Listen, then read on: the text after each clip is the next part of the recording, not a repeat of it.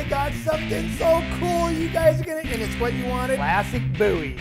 Neck knives.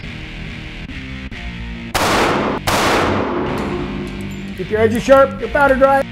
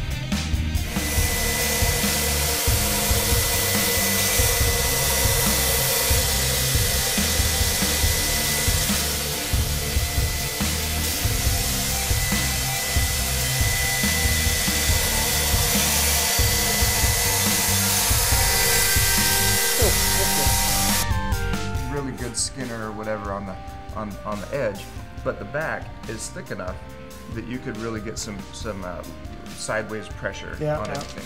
It feels great in, in your hand. For as small as that is, it really feels like you've got something substantial. Everybody that picks it up loves it.